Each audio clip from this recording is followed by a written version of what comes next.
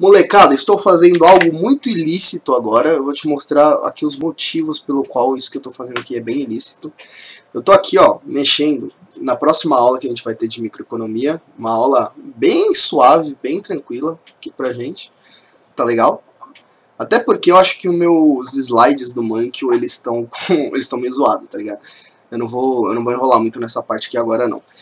É, agora a gente vai fazer um react já dando aqui uns spoilers aqui da próxima aula de, de microeconomia, vou fazer um react do Palio Focus no Flow falando sobre UBI com Monarch. Como quem deve acompanhar o Flow já deve saber, o Monarch ele é um puta defensor da UBI, né? E quem já leu aí meu artigo, inclusive vou botar ele na descrição, sabe quais são os problemas da UBI. E aqui eu vou dar um react que não é um react 100% puro, porque eu já comecei a assistir esse, esse vídeo no celular é, sobre o Paulo Cogos falando da UBI. Beleza? Vamos ver o que ele vai falar pro Monark. Vamos deixar 1,25, cara, um, um e-mail. Vamos ver se não vai ficar muito, muito rápido, tá ligado? Vamos lá, vamos embora. Claro que nós temos que ajudar as pessoas necessitadas, por caridade, não assalto uma armada. Mas se alguém fizesse isso, é uma ideia furada do Suplicy, eu até tive uma discussão com ele o dia que ele foi dar uma palestra no, no INSPER, e ele deu essa ideia, ele nem tava falando de caridade, tava falando de roubar os outros. Mesmo. Ah, é, o Cogos, ele estudou economia no INSPER antes de virar economista autodidata. Ok. Mas mesmo se fosse um fundo caritativo, isso na verdade seria uma falsa caridade. Porque a pessoa simplesmente estaria fazendo um desencargo de consciência. Ah, eu já dou dinheiro para o grande fundo comunitário lá e não se preocupa mais. E não é uhum. essa caridade que a Igreja Católica, por exemplo, recomenda. A Igreja Católica recomenda. Mas se funcionar, que... né? Mas não vai funcionar, isso é o... A Igreja Católica recomenda uma caridade ativa mesmo, tá? Não você simplesmente doar para um fundo de caridade e não dar a mão para o seu próximo, entendeu? É isso que o Palio Focus ia terminar de falar. Mas enfim, aí o Monark, o famoso defensor da UBI, já veio. Eu gosto muito do Monark, cara. O Monark, eu não gostava dele quando eu era, quando eu era adolescente, porque eu falava, ah, mano, esses caras aí que faz Minecraft, modinha, não sei o que, eu tinha raiva dele. Hoje eu gosto muito do Monark, eu tenho um apreço muito grande pelo Monark. E a gente fala meio parecido também. Né? Mas eu gosto do Monark porque o Monark ele é um cara comum, mas ele é muito questionador. E ciência, como a gente sabe, se faz com questionamento. Ele é um cara legal porque ele tem senso crítico. Eu acho o Monark um cara legal, apesar de discordar, né, nessa questão da UBI, né. Enfim, aí o Monark ele foi responder aqui o, o Palio Focus, né, fazer uma, uma pergunta para ele, se funcionar. Nunca testou?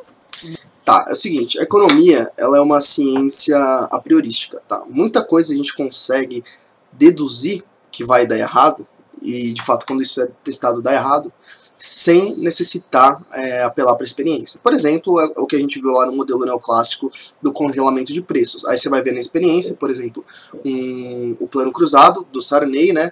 Você teve o exato efeito que foi previsto pela teoria econômica, que era uma escassez de produtos, tá certo? Com tabelamento de preço máximo, tá certo? No caso que vai ferrar os produtores e vai estimular o consumo, né? Então você vai ter uma escassez com tabelamento de preço máximo, tá legal? Então, esse é um exemplo de como a teoria econômica já deduz a priori o que vai acontecer, e aí quando tem a se a teoria estiver bem elaborada, tá certo? Quando você coloca esse tipo de política em prática, é batata. Né? Eu não vou falar ainda o que, que acontece com a renda básica e ficar repetindo meu artigo. vou esperar ver o que, que o Cogos vai falar. Vamos lá. Não vai funcionar pelo seguinte: qual é o critério para receber esse dinheiro? As pessoas vão ficar dependentes dele. O critério é nenhum, você tá vivo, então, você recebe. Então, então, olha que absurdo. De fato, as pessoas ficam começam a ficar de, dependentes desse dinheiro. Existe um desincentivo à produtividade, né? Mas aqui o Cogos não vai entrar nos detalhes Mas por hora. Então você deixa de investir em capital ah. para que um, um, gastador, um sujeito pródigo e consumista pegue esse dinheiro para comprar cachaça? Mas é só esse cara que existe na, na Terra? Não, é mas é o que vai acontecer. As pessoas existe, vão... Aí todo mundo vai virar um cachaceiro. Tem o dinheiro de graça lá, a pessoa que chegar primeiro vai pegar. Não, não, o dinheiro é para todo mundo. Eu sei, isso é absurdo. Eu não acho, eu acho, eu acho interessante. Eu acho que é, é uma mecânica que pode elevar o, o nível do jogador, tá ligado? Não, as pessoas vão comprar cachaça, vão gastar isso no puteiro. Olha o argumento. E o Cogos, o ele tem conhecimento de economia, eu sei que ele tem conhecimento de economia. E o cara me dá esse tipo de argumento. O, a renda básica universal não funciona porque as pessoas vão comprar cachaça. Vamos continuar. O que você tem que fazer? Beleza, aí ele vai ficar ganhando aquela miséria ele pra sempre. É sempre, e aí vai ter uns Sim, caras mas que vão pegar esse dinheiro e vai investir, não vai? Não vai ter alguém que vai fazer isso? Isso é a teoria do microcrédito, que já foi completamente refutada. Mas não vai ter alguém que vai investir? Não vai ter alguém que vai usar essa grana que ele não ganhava antes pra melhorar a vida dela de alguma forma? Olha, tem um sujeito, um pilantra, safado, vagabundo, hum. chamado Mohamed, olha o nome do cara, Mohamed Yunus. Tá, vamos lá. O Cogos, ele provavelmente vai entrar nesse ponto aí da teoria do microcrédito, mas é o seguinte, cara. O problema da UBI não é que as pessoas elas vão começar a comprar cachaça com o dinheiro da UBI. O problema da renda básica é que você tem, primeiro, um problema de custo. O primeiro de todos é um problema de custo, porque para sustentar toda uma sociedade, quanto mais demograficamente populosa ela for, tá certo? Maior vai ter que ser o nível de arrecadação para sustentar hum, a renda mínima tá certo? Porque vai ser a quantidade de beneficiários da UBI, já que é uma renda universal, até como o Monark mesmo está propondo, como é uma renda universal, ou seja, ela vai ser para todos os cidadãos daquela sociedade ter um nível mínimo de subsistência, tá certo? Ela vai precisar ser custeada com um grande volume de unidades monetárias, de moeda, tá certo? E a gente tem um rendimento decrescente da arrecadação estatal, tá certo? Que é a curva de Laffer. A curva de Laffer, cara, é batata Tá? Não tem como refutar porque ela é uma conclusão lógica do desincentivo à produtividade gerado pelo aumento da taxação. Quanto mais uma pessoa é taxada, menos ela quer produzir, tá certo? E para você sustentar um grande número de beneficiários de uma renda mínima, tá certo? Que caiba uma cesta mínima de consumo para subsistência e de talvez de serviços sanitários de maneira geral, tá certo? Você vai precisar de um grande de um volume ainda maior proporcionalmente ao nível demográfico né, do, do local onde vai ser implantada a UBI, um nível proporcionalmente grande ao nível demográfico para sustentar todas aquelas pessoas com renda mínima, tá certo? E quanto mais você precisa de, de arrecadação, você precisaria, por exemplo, de um imposto de renda progressivo, tá certo? E você, quando você aplica um imposto de renda progressivo, você está taxando a parte mais produtiva da sociedade. E quando você taxa a, você taxa a parcela mais produtiva da sociedade, você tem um desincentivo muito grande à produção. Então, o bolo econômico que vai ser distribuído, ou seja, os recursos reais que vão ser comprados com esse dinheiro, vão reduzir em quantidade, tá certo? E isso tem um efeito sobre o aumento de preços, porque, é como a gente viu no modelo microeconômico, é um deslocamento da, da oferta para a esquerda, né? Seria no, no modelo valrasiano, né? Mas você tem uma redução da oferta, basicamente, né? E conforme você tem uma renda mínima universal, e a gente viu lá no efeito Cantillon que o cara aumenta a restrição orçamentária, ele pode alcançar uma curva de, de indiferença maior, ou seja, ele pode consumir mais, né, em outras palavras. Esse cara vai aumentar o consumo dele, e se você tem um aumento da oferta, uma, é, um aumento da demanda e uma redução da oferta, você tem um aumento do preço e uma redução da quantidade. Eu já mostrei o problema né, de do aumento da quantidade pelo aumento da demanda no modelo valrasiano, tem um, um vídeo de microdrops explicando que quando você tira a disponibilidade do recurso, menos pessoas vão poder se beneficiar dele, tá certo?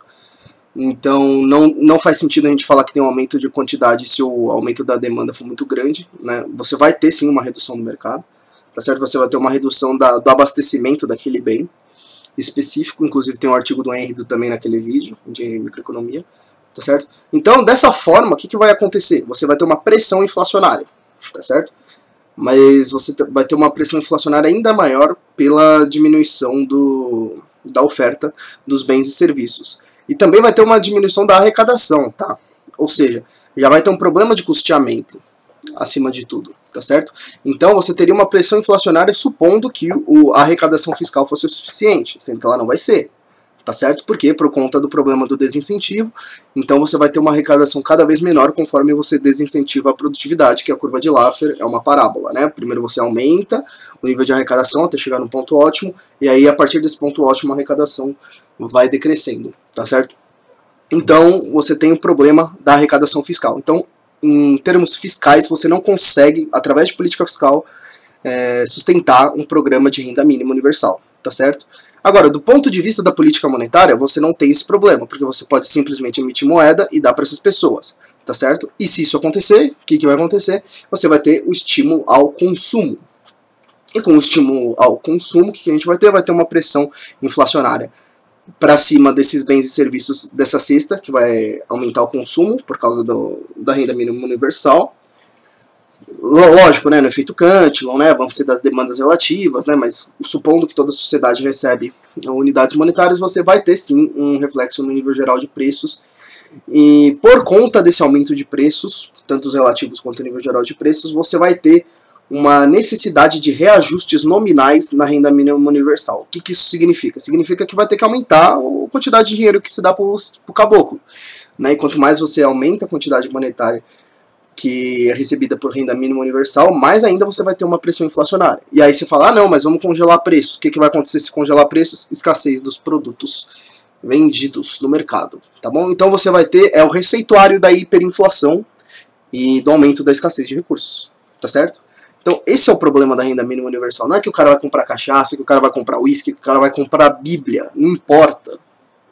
Entende? Se é a coisa mais moralmente honrosa que o cara pode comprar ou não. O problema é os desincentivos à produtividade e o incentivo ao consumo. Tá certo? É a lei de Sé, cara. A produção precede o consumo. Senão vão acabar os recursos do planeta. Não existe pós-escassez. A escassez não é uma invenção burguesa. Tá certo? Que nem, por exemplo, ah, a lei da gravidade é uma invenção burguesa para o proletariado poder brincar. É, pro proletariado trabalhar ao invés de ficar brincando de Dragon Ball. Não, não é. É uma limitação da natureza, tá certo? Você não cria recursos com mágica, entende? Esse é o problema da renda mínima universal, tá certo? É um parasitismo social, claro. A economia não funciona na base da porrada, cara. Esse é o problema. Enfim, vamos continuar aqui. E ele defendeu Vou botar dois X nessa porra. Que era a teoria furada. Ele falou assim, todo mundo receber um pouquinho através do microcrédito, cada um vai investir num pequeno Mas crédito negócio. você tem que pagar de volta, né? Pois é. Então ele também estava tirando da bunda isso. Então não era a mesma Qual- ideia também, é uma ideia diferente, é outra mecânica. Não, é- é- ela, ela, ela pelo, é, a sua ideia pelo menos não é antiética, já que você está falando em caridade. A dele é antiética. Agora, ele é criminoso, tinha que estar preso no perfil de pedrinha. Agora, qual o resultado do microcrédito? O resultado é o aumento do consumo, porque não é um crédito direcionado a uma atividade produtiva. Eu já Sim, aumento do consumo, exato. vi um filho da puta, perdão da palavra aqui, falando que, ah, eu participo de um programa da ONU para ajuda do Haiti. Nós damos sapatos para as criancinhas. Sabe o que aconteceu? Faliram as fábricas de sapato no Haiti. Que estavam dando de graça. Aí ele falou: não, tudo bem, agora nós podemos dar sapatos para sempre para elas. O filho da puta destruiu a indústria haitiana. E gerou uma dependência econômica para sempre. Eu não tô falando para não fazer caridade. Existem pessoas que são inválidas, que estão doentes, que precisam do dinheiro agora, que precisam comer hoje. Então não tô falando aquele clichê liberal. É, até porque é muito mais nobre você dar oportunidade da pessoa crescer na vida do que ficar deixando ela dependente de você, né? É sempre aquele negócio. Também entra a questão da expectativa, né? O cara sempre vai estar na expectativa de receber uma renda mínima para ele, pra ele subsistir, né? Pra ele sobreviver. de não pode dar peixe, tem que ensinar a pescar. Não, tem gente que precisa do peixe hoje para comer. Tem gente que não vai aprender a pescar. Mas criar um fundo comunitário é incentivar o consumo. Nós temos que fazer uma caridade mais personalizada. O sujeito está precisando de um crédito para o armazém dele, se ajuda daquela vez, ensina alguma coisa sobre contabilidade para ele, para a economia crescer e ele não mais ser dependente de você. Criar um estamento, uma instituição chamada fundo comunitário é a destruição da verdadeira caridade. A verdadeira caridade é que o cara não mais precise desse fundo no futuro. Eu entendo, é que pra mim eu vejo de uma maneira muito mais pragmática, cara. Pra mim é só um sistema que eu acho que funcionaria, ele é muito prático. Então, o fato de ser prático não implica que ele vai funcionar, entende? Uma, a conclusão não decorre da premissa, tá certo? Tá? É, se você tem um, um sistema que é distribuição de renda, é, É que nem você pegar, por exemplo, o plano. Cara, o plano cruzado é um exemplo de política heterodoxa, tudo bem, né? A renda mínima foi endossada, endossada pelo Friedman, que é um economista ortodoxo. Mas assim, você tem a parada da renda mínima. Da renda mínima não, do tabelamento de preço, né? É, um, é uma solução muito prática. O governo vai lá e força as empresas a tabelarem os preços e não subirem os preços acima do preço máximo. Mas não significa que funciona simplesmente porque é pragmático, entendeu? Esse é o problema, né? É, uma, é um salto lógico, não faz sentido. Não, a conclusão não decorre da premissa. é individual, coletiva, de forma igualitária pra todo mundo, eu acho que você pode colocar esse sistema e acabar com uma porrada de Mas outros por que igual sistemas. para todo mundo? Tem gente que precisa de caridade, tem gente que não precisa de caridade. Porque aí vira um, um dividendo da sociedade, tá ligado? Não vira caridade também, vira um, é algo como um direito. Porque se for para pensar, a gente tá. Não é que tá aqui, ó. Pais, Todo mundo se masturba, eu bato. Porra, Monark. Todas as nossas sociedades desenvolvidas, prédios imensos. tá Monark não viaja, Monark. todo esse valor agregado, que não é necessariamente pertencente a nenhum indivíduo, ele, ele, ele é. É, sim, lógico que é, cara. Todo valor que é gerado na sociedade vai. É... Claro, gente, o valor não vem do trabalho, tá? O valor vem da, do atendimento das necessidades dos consumidores, tá? O valor é subjetivo. Né? Mas quanto mais valor o indivíduo gera na sociedade, quanto mais bem avaliado ele é pelos consumidores, esse valor vai para ele, em termos monetários. Ele tem propriedade, tá certo? O valor surge de relações proprietárias. Então tem proprietário sim, cara. Ele tá é, viajando numa visão, é praticamente uma visão macroeconômica, né? Um, um valor agregado, né? Eu, eu sinto que ele é Uma renda, da produto. sociedade, Poderia ser repassado, entendeu? Existe muito- E aí ele tá. E aí ele tá falando que isso é como se fosse um dividendo de acionistas. Não, de novo, ele tem proprietário. Tá certo? Não é um. Não é um bolo disforme que não tem dono. Muito pelo contrário. Da sociedade? Porque existe um valor agregado de coisas que a gente Tá certo? Não é porque você, é, você consegue contabilizar em termos monetários a riqueza de um país que necessariamente cada cidadão é um acionista de, dessa parte do, desse valor agregado. Tem pessoas que simplesmente não produzem nada para a sociedade. Tá certo? Então sim, tem um proprietário, cara. Cara, é um salto lógico atrás de salto lógico, cara. E eu gosto do Monark. O Monark ele tem, ele tem a cabeça no lugar, mas, cara, às vezes ele viaja, cara. Às vezes, às vezes ele, ele fala uns negócios que, pelo amor de Deus. construir que não pertence a ninguém. Não existe?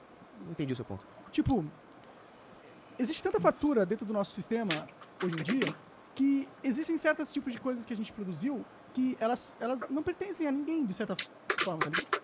Não. Não decorre do fato de ter riqueza criada que essa riqueza não tenha proprietário. Aliás, essa riqueza foi criada exatamente por existirem proprietários nas relações mercadológicas. Então não, não também é outro salto lógico.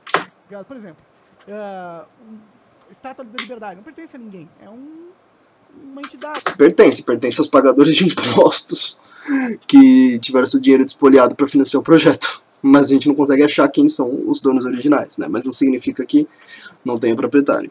ou, sei lá, leis que a gente desenvolveu com o tempo. Tô falando de patrimônios da humanidade. É, e não só patrimônio, é, patrimônio da humanidade, pa- patrimônio de todos.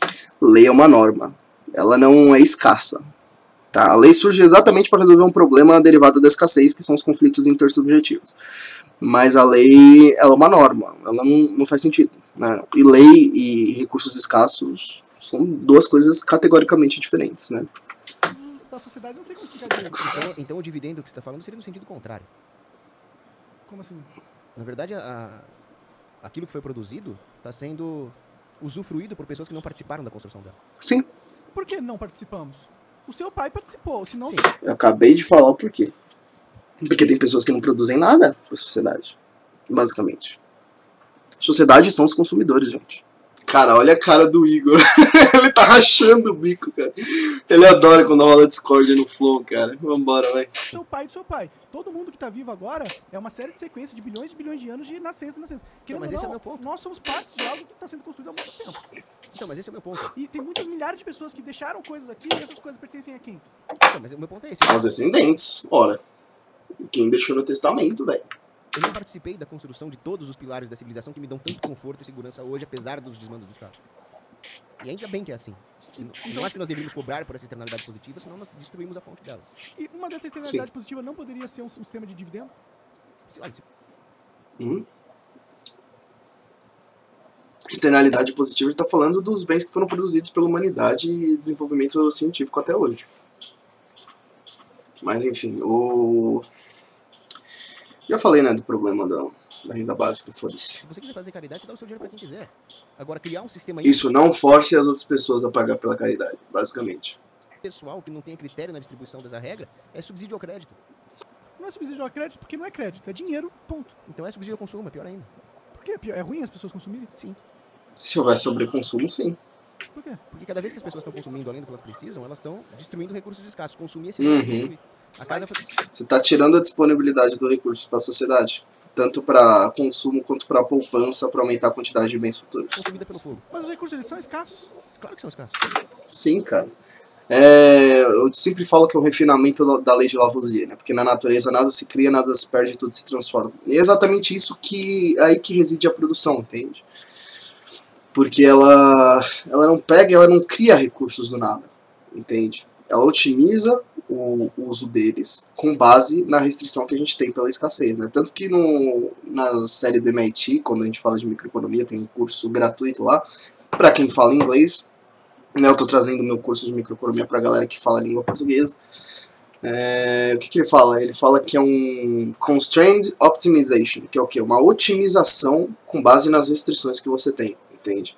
Então a economia é uma ciência que estuda a otimização com base nas restrições, tá certo?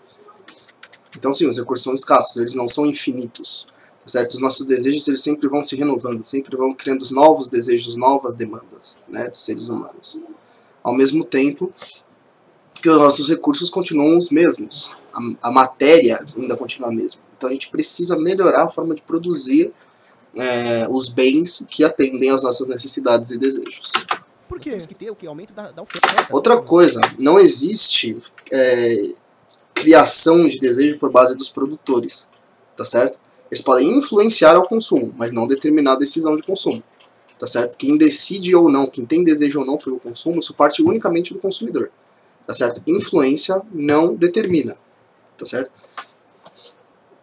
Ela influencia, ela induz, mas não necessariamente, ela não força. O, o, o produtor não vem com uma arma e força o cara a comprar o, o produto dele. O Estado faz isso, mas o produtor numa economia de mercado não. Mas quais Agora, claro, as pessoas escassos? demandam, não tem jeito. Água é escassa? Água escassa. Sim. Não é escasso no sentido leigo da palavra. Escasso no sentido econômico, de finitos, limitados de acordo com os nossos os desejos né? e necessidades. A quantidade de água potável no mundo é finita. É finita. Mas e no universo? Mas nós não temos tecnologia para usar toda a água do Agora, agora. Mas a gente também não tem tecnologia pra usar toda a água da Terra. Tá, mas aí o Monark ele tá saindo do ponto. O ponto, o ponto da economia não é esse. Até mesmo a água do infinito. É, a gente não sabe porque eu não tenho conhecimento empírico de causa para falar disso, né? Até porque eu não, não estudo ciências naturais, né? Mas, assim, a gente mora no planeta Terra, a gente usa os recursos da Terra. A gente está falando da realidade agora. A gente não está viajando, transcendendo. A economia, ela trata dos problemas da vida humana, né? Até mesmo de problemas práticos, por mais que ela seja uma ciência teórica, né? Então, você ficar viajando, não, mas e se... Não, a gente está tratando do que é. Uma análise positiva. Não do que poderia ser, não do que deveria ser. né? Então, calma aí. Cuidado aí, segura, segura o back para não ficar, não viajar muito na maionese. Tudo bem, mas a tecnologia é escassa, os cientistas são escassos, as Exato. que eles vão usar para fazer essas Tanta água é escassa. Por tanta água escassa. Sim, a a água é escassa, mas ela não é infinitamente escassa. No sentido que não existe um limite da taxa de progressão da evolução humana. Hã? Não, a- os bens eles não deixam de ser escassos conforme você produz bens novos. Eles só estão sendo otimizados. Mas ainda assim eles são fisicamente limitados. Não são que super vive de abundantes. Ela leva em conta o tempo. Não adianta eu esperar que, o- que a humanidade tenha oferta infinita de água daqui a 100 mil anos se eu tô com sede hoje. Não, tudo bem, mas eu acho que isso É, não vai existir oferta infinita. Quer dizer, eu tô prevendo a ação humana, hein, guys? Não, não, não vamos viajar, não. Mas, enfim, é, se existisse um pós-escassez, a ciência econômica já não seria mais necessária, tá certo? Mas ela é uma limitação que existe da natureza, assim como qualquer outra, né? A gente não sabe como são outros mundos, como, como vai ser se a gente puder habitar novos planetas, tá certo? Mas dentro do planeta Terra, na realidade que a gente tem há milênios, ainda temos limitações da escassez de recursos baseadas na própria é, finitude física desses recursos, tá certo? Então, enfim, isso daí é uma, uma brisa assim para discutir numa roda de bar, tá ligado? Não para discutir de maneira séria dentro da economia hoje. qual era o ponto. Não lembro qual era o ponto. O ponto é que as pessoas. Muita maconha. As pessoas precisam Mas é, produzir. E subsidiar o consumo em detrimento da produção não vai ajudar os Ah, é, pobres. você não gosta de consumo. Mas, mano, Não é que eu não gosto de consumo. Não é que não gosto de consumo, o telos de toda a produção é o consumo, tá certo? Mas você precisa ter algo para consumir, né? Não dinheiro, você não come dinheiro, saca? Uh, uh, Nós, nós só produzimos para poder consumir. Mas o Exato. é que o gargalo da civilização não é o consumo, é a produção. Uhum. é a produção. Produção do quê? Quem consome a Produção de produção? coisas De tudo, bens e serviços. as pessoas precisam consumir. Então, cara, e, e- e as pessoas precisam consumir. O que elas precisam consumir muda conforme a evolução da própria sociedade. A economia austríaca pressupõe isso. Inclusive, isso faz parte do processo de mercado. Mas isso não muda o ponto de forma alguma. Hoje você Existe. precisa consumir internet. Sim. E quantas coisas você poderia precisar consumir que a gente só não inventou? Por isso que precisa ter um aumento da produção de fios. Exato, tipo, com o aumento da produção você gera capacidade de consumo para novos mercados. Essa é a lei dos mercados de sé. Não é que oferta automaticamente gera venda, cara. Gera demanda. de equipamento de comunicação. Até porque oferta e demanda cataláticas elas ocorrem simultaneamente. Quem oferta, como eu falei, pela milésima vez, eu já, eu já tá até redundante aqui nesse canal. A demanda catalática oferta moeda e demanda bens e serviços, e a oferta catalática oferta bens e serviços e demanda moeda. Como Não aumento da aumenta? demanda da internet por si. Então, você aumenta é, essa produção aumentando o consumo. Por isso que eu falei que são as duas simultaneamente. Mas enfim, o que ele falou aqui do o Monark agora, ele falou produção, aumento, consumo. Isso é, você tem um consumo baseado, lastreado na produção. Ou seja, como a gente fala, demanda catalática não é só o desejo, mas é a capacidade de consumir. Tá certo? Então essa capacidade de consumir foi lastreada na produção de mais bens e serviços. Entende? Então você não tem esse problema. Agora, quando você tem um estímulo ao consumo através de uma renda mínima universal, através de programas que estimulem a demanda agregada e coisas do tipo, isso vai gerar um sobreconsumo em relação à produção e uma escassez de bens. Entende? Esse é o problema. O problema é que essa nova demanda só está lastreada em aumento de moeda. E em preços relativos, em dinheiro em relação à moeda, o dinheiro fica relativamente mais barato. Por isso que o preço dos bens e serviços aumenta, porque ele fica mais caro relativamente à moeda. Entende?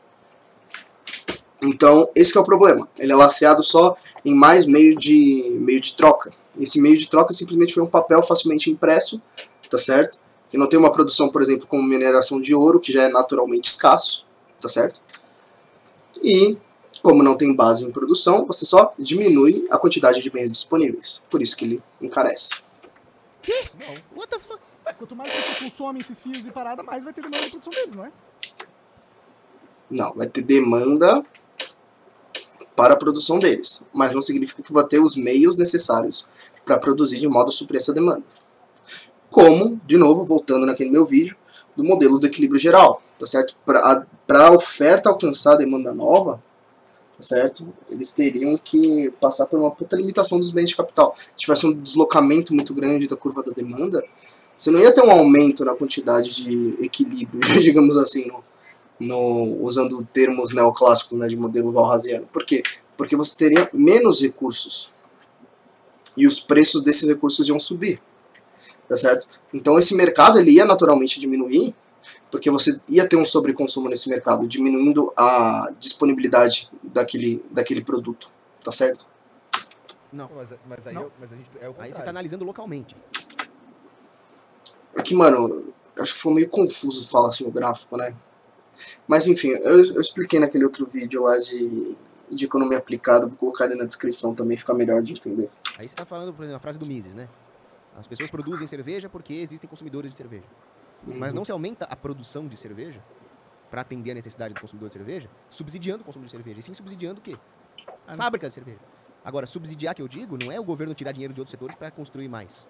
E sim aumentar o capital que as próprias empresas de cerveja vão investir na sua própria. Exato. Né? Capital aqui considerando os recursos não monetários, né? bens intermediários, bens de capital, etc., que são necessários para expandir os processos produtivos e aumentar a quantidade produzida pela firma.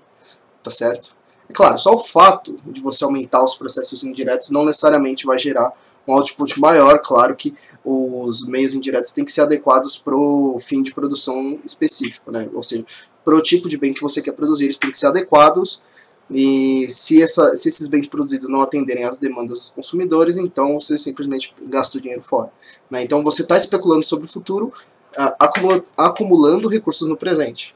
Entende? Então tem uma meio que uma, uma um alinhamento entre produção e consumo temporalmente, tá certo? Porque além de ter os recursos poupados para expandir os processos produtivos, você também está tendo um adiamento do consumo por parte dos consumidores que vai gerar uma demanda futura para maior quantidade de bens produzidas que você vai aumentar a produção agora, utilizando esses recursos presentes. Então, existe é, tudo funciona como uma, como uma sinfonia, em perfeita harmonia, tá certo? Tanto na parte da escassez de recursos, que eles são acumulados para aumentar os processos de longo prazo, quanto a demanda e oferta estarem orientados para o futuro. Entende? Então, isso que é o acúmulo de capital. Você acumula, acumula os recursos não monetários, tá certo? Não, não é capital no sentido financeiro, no sentido econômico. Então não é subsídio, eu falei a palavra errada, seria um reinvestimento. Agora, tirar o investimento da produção de máquinas, de comida, para subsidiar o consumo, é depauperar o capital da É, mas economia. não tá tirando. Isso aí é um pulo. Tá tirando. Você tá pegando o recurso que ao invés de ser poupado, ele é consumido. A disponibilidade dele para aumentar os processos produtivos, ela não tá, ela tá sendo retirada para atender os fins de consumo. O meio é escasso, entende? Se eu quiser é, investir esses recursos não monetários para processos produtivos de longo prazo, os meus consumidores quiserem consumir, a gente está tendo um cabo de guerra pelo recurso. Entende? Ele não se multiplica magicamente com Kagebushi no Jutsu, entendeu? Ele é escasso, ele é fisicamente limitado. Ou se investe ou se consome. Esse é o grande problema do Keynes, porque ele acha que dá para fazer os dois. Entende? Tá tirando que o capital é escasso, cara. Exato. O capital ele é escasso, com certeza. Mas hum, e por que, que ele tá tirando? É que o Monark, ele. Eu não sei se é a maneira que o Kogos explica ou coisa do tipo. Porque o Kogos é inteligente, ele tem conhecimento, tá ligado? Mas eu acho que o Monark ainda não conseguiu entender a questão do, da disponibilidade do recurso não está disponível tanto para investimento quanto para consumo. Não sei se foi por conta da explicação do Cogos. Exclusivamente disso. Tem um milhão de coisas que ele poderia ser tirado. O capital, o capital superfluamente, mano. Eu sei. Ei. Então, é, vamos parar de gastar superfluamente. Se é para ter um sistema. Mas para, gastar as coisas superfluamente quando você incentiva o consumo, você incentiva exatamente isso. Entende? Uma coisa que eu acho, acho engraçado, eu não, eu não tô criticando o monarca, eu tô criticando o senso comum em geral. É, principalmente pessoas que defendem políticas de esquerda, é, sempre baterem no consumismo, sendo que políticas consumistas são exatamente o que são incentivadas por políticas econômicas de esquerda, digamos assim, como, por exemplo, é o, as políticas keynesianas, né, de expansão monetária e expansão fiscal. Expansão fiscal pelo não útil, né? A política monetária, a política fiscal keynesiana é tanto de aumento de impostos quanto de aumento de gastos, né? Então, ela não tem aquela lógica de diminuir gasto, é, diminuir imposto e aumentar gasto. Né? Na verdade, vai tudo para a direção do estatismo, na política fiscal keynesiana. Né? Mas, enfim, eles têm uma visão de aumento de, de, aumento de consumo. Né? Eles, eles endossam essas teorias macroeconômicas, e são teorias macroeconômicas que justamente incentivam o consumismo. Então, é engraçado ver esse tipo de hipocrisia né, no pensamento do, do senso comum, enfim. É, mano, então, para de gastar bom. dinheiro superfluamente, por exemplo, em vez de comprar maconha, você podia pegar todo o dinheiro que você usa para fumar maconha e doar para o lar escola são Francisco? Cara, é... eu entendo a moral do Cogos, uh, eu acho bela e moral, inclusive. Mas a questão da maconha do, do Monark, ele tem, ele tem os problemas dele, saca? Ele passou por depressão, ele tem até um método terapêutico, aparentemente, com isso daí. Eu posso estar falando besteira, ele pode só, pode só fumar maconha recreativamente, né? Mas assim, não vamos imputar telos nas ações dos indivíduos, não vamos forçar, nosso, forçar nossos fins sobre as pessoas. Tudo bem que foi uma mais um conselho de qualquer, qualquer coisa. Mas deixa o cara, velho. Porque eu acredito que ele precise disso, tá ligado? Mas aí eu, eu aí eu ficaria maluco. E aí, Exato. Eu não ia produzir, eu não ia ganhar mais dinheiro. Então a maconha, na verdade, é eu sustentando meu meio de produção, cara. O pior é que não deixa de ser o recurso que ele está consumindo para produzir, né? Porque o, o Monark tem depressão, ele tem uns problemas, né? Não, não vou ficar falando da vida pessoal do cara, até porque eu não, eu não sou brother do cara, mas... Né? ele tem, o, ele, tem, ele tem as questões dele, tá ligado? Ele tem o porquê dele consumir a maconha, né? Eu entendi o exemplo do Cogos, né? Mas de certa forma, é... coitado, cara, coitado. Tudo bem. Eu respeito isso. Eu tenho um cara que tinha dor nas costas, foi uma maconha tinha dor nas costas, ele trabalhava melhor sob efeito de maconha. Aí que você vai ser obrigado a concordar comigo. Se eu fosse um governante, eu estaria completamente errado de, de confiscar o seu dinheiro da maconha para fazer caridade. Com certeza. Então você tá concordando é comigo que nenhum filho da puta de governante tem moral, nem conhecimento, para definir onde é suplével e onde não é. De fato, de fato. Não tem como, não tem como ele, o, o Estado, Planejamento Central, fazer cálculo econômico. Tá certo? Porque toda decisão que ele toma é arbitrária e tem incentivos políticos. Tá? Mesmo que tenha o sistema monetário como método de cálculo econômico, primeiro que ele é extremamente distorcido pelo monopólio da oferta monetária do Banco Central, né? Mas tem a questão também do, dos incentivos, que é muito importante. Né? O incentivo político ele não é um incentivo de lucratividade, então ele não vai visar necessariamente o que a sociedade mais está valorando naquele determinado momento. Entende? Porque o que acontece mesmo com a lucratividade, com o aumento das receitas, é que tem mais pessoas dispostas a pagar um preço mais elevado por determinado produto, já que receita é preço vezes quantidade. Então, quanto mais valor você gera para o maior número de pessoas possível, da maneira mais eficiente possível, ou seja, reduzindo, minimizando o custo, tá certo? Maior vai ser seu lucro. Então, os incentivos mercadológicos são incentivos para atender as necessidades dos consumidores da maneira mais eficiente possível. Claro, é sempre uma especulação sobre a avaliação futura, um estado de coisas futuro, né? Mas é uma coisa que o Estado não tem. O Estado quer ganhar voto, quer fazer coisa grandiosa, que não necessariamente é que a sociedade está mais necessitada em determinado momento.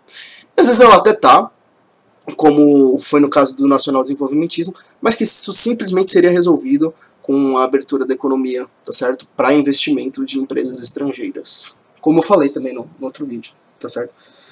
Então, o Estado não tem conhecimento.